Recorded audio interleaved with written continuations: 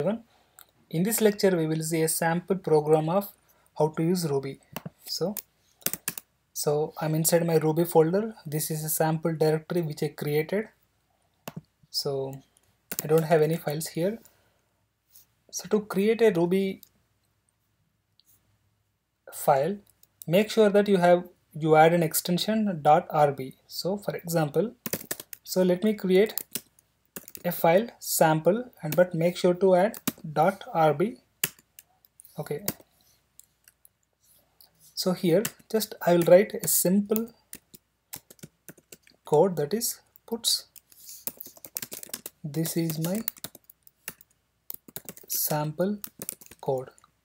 So and I'm saving it by using escape colon wq okay.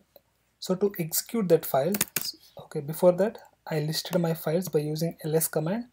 I have sample.rb to execute that file we can do ruby followed by sample.rb so we can see this is my sample code. Sometimes you may, you may not get this result. You may get errors. So if that is the case try doing this. Along with this code make sure to add the path here. That is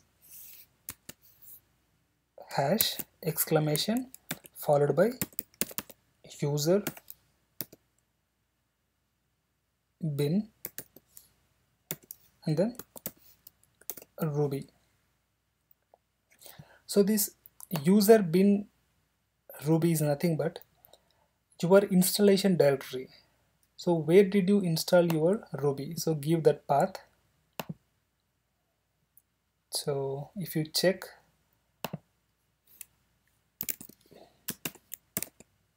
User followed by bin and then followed by ruby. So if you see my ruby is installed in this path. So once you give this make sure to save this and then try doing ruby sample.rb enter.